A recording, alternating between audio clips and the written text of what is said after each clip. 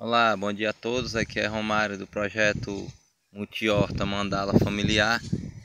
É, passando aqui para mostrar o sistema que, que foi implantado agora, o sistema de gotejamento aqui, ó, na cebola, no mamão e na horta inteira está sendo implantado esse sistema aqui de gotejamento. Aqui é colocado esse resistrozinho aqui, ó, é, fura o cano e coloca essa borracha, ó encaixa esse registro. Aí bem adiante, ó, coloca esse aqui, ó, o famoso cabinho de baladeira chamado. Não existe por aqui, nos depósitos onde vende produto, é, materiais de irrigação. Esse daqui eu consegui no Rio Grande do Norte.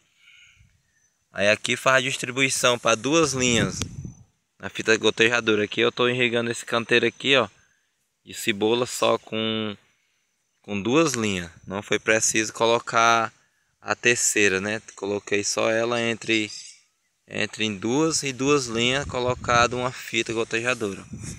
Mostrando aqui com molhado, molhado fecha, ó. a cebola tá bem bonita, tá desenvolvendo agora, uma cebola nova. E aqui sucessivamente, ó. O e o sistema montado. Tem algumas fitas aqui que vão ser utilizadas ainda.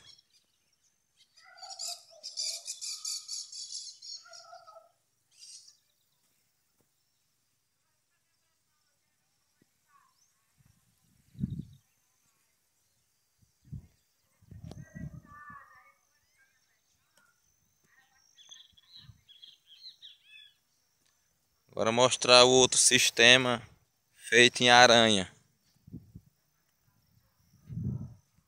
Ó, o sistema feito na chamada aranha.